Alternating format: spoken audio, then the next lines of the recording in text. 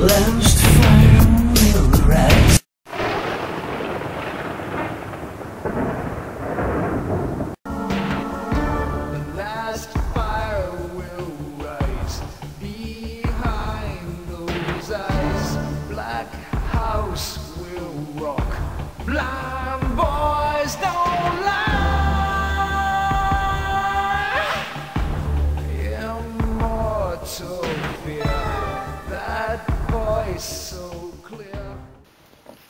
Hello, YouTubers. Um, so for today's Halloween special, I thought I would talk about uh, my wife Meep and I's uh, recent trip.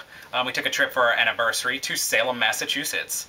Um, so we kind of thought of it as like a, a uh, anniversary trip, but also you know kind of like a Halloween trip. Um, we took it sort of um, mid, early to mid October, as that's you know um, our anniversary is October 11th. Um, so you know we Salem, as, as most of you will know, is uh, was the site of, a, of the famous Salem witch trials. Um, so they have, uh, you know, they get all into it. They have a lot of really cool Halloweeny type stuff and a lot of witch stuff. Um, you know, for the for the uh, for for the October um, time frame, but also you know all year around they have a lot of that cool stuff. So it seemed like the perfect trip for us. We had like a list of all the things that we found out that you know supposedly were good there. We wanted to try out. Very first thing we did was the Salem Witch Museum, which was pretty cool.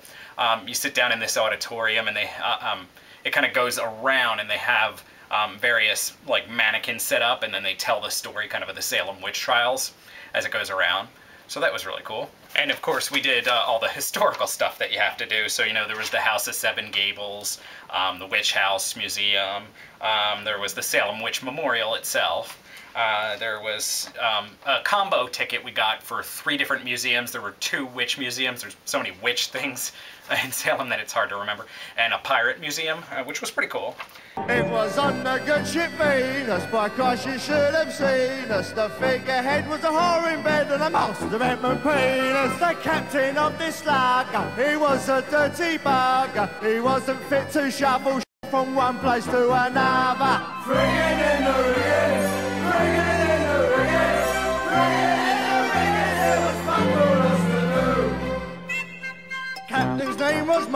By Christ he had a garden. Um, we did the Witch Dungeon Museum. Now that was really cool too. Um, what they had there is they had uh, various mannequins set up depicting uh, like a um, the dungeon scene of where like they kept some of the supposed witches. Um, so you know some of you may have heard that it, that included the story. Um, they even had a depiction of the scene of Giles Corey. I'm not sure if I'm pronouncing that right, being uh, being pressed to death by stones. Uh, so you know, pretty vicious. um, let's see. We also visited the Nightmare Factory, which um, that was an indoor um, haunted attraction. It was a little bit short, but I thought it was pretty fun. It was pretty cool, and um, you know, it was.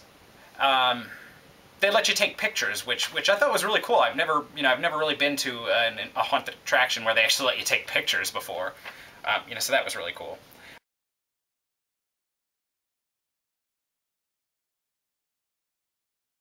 Um, we of course did, you know, a ghost tour, um, you know, the walking tour. Those are always a lot of fun, and we did a, a trolley tour that, you know, drives around, obviously in a trolley, uh, to the various sites. So they tell you all the stories.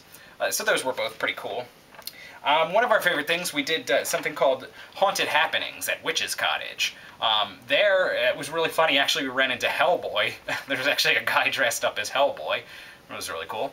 Um, but there, what they do was actually, it was a lot of fun. Um, it was kind of like a stage show. Uh, it's, it's very much in the dark, and it's kind of interactive. Like, things jump out at you and try to scare you. Um, they tell sort of stories of the Salem witch trials, and, and they sort of dramatize it a little. You know, um, as you know, obviously they weren't. Nobody was a real witches. They, but they kind of uh, on this little play, they kind of play up the supernatural a little bit. Um, so it was really cool. It was one of our favorite things. Um, me personally, and and uh, and my wife kind of agreed. But um, our favorite, our absolute favorite thing, and I, hopefully you can see the shirt. Um, if not, I'll try to get a picture. Count Orlok's Nightmare Gallery. Um, it's actually a um, it's kind of like a wax museum, just a, a small wax museum uh, in Salem, Massachusetts, but they have horror movie icons. Um, so you know, like Pinhead, Jason, Freddy, stuff like that. But they also had a few obscure ones. Like I was, I, I thought it was really cool. I saw um, the clown from It. a favorite of mine, so that was really cool. Um, I just loved it. I, I, actually joked with the guy that I wanted to uh, I wanted to move in there. um, so that was a lot of fun. The, the wax figures are incredible likeness. It was really cool. Um, they had kind of a combo ticket you can do where you get to go through the regular uh, tour and you also get to go through it as a haunted attraction. Now, it was a bit of a small building, you know, there wasn't many rooms to go through, so um, the haunted attraction, you know, it was very short, but I will say it was kind of cool. They, they tried to, they knew it was small, so they kind of tried to make it a little more involved, and, and you know, that's something that you don't typically get at a haunted attraction, so, so that was pretty cool. We also um, visited a couple friends, um, so that was a lot of fun, you know, uh, a couple friends that lived in, that lived in Salem, so um, overall, we, we had a lot of fun. It was awesome. It was one of our favorite trips we've ever taken. Uh, definitely something we, we, we wish we could do again. Um, you know, and we would definitely highly recommend it, especially if you're into like the Halloween scene. Um, it's definitely a good place to go any time of the year, but especially around October. Um, one of our biggest concerns being Salem, Massachusetts, site of the witch trials, um, was that it would be like really super crowded. Um, but luckily we went in early October and we didn't find that to be the case. It wasn't really super crowded, so you know that'd be kind of my recommendation. Recommendation, best time to go would be um, early on uh, in October because then they have all the Halloweeny type stuff, but it's not quite too crowded yet. Um, you know, so if you ever get a chance, I definitely recommend checking it out. All right, thanks, YouTubers. Happy Halloween.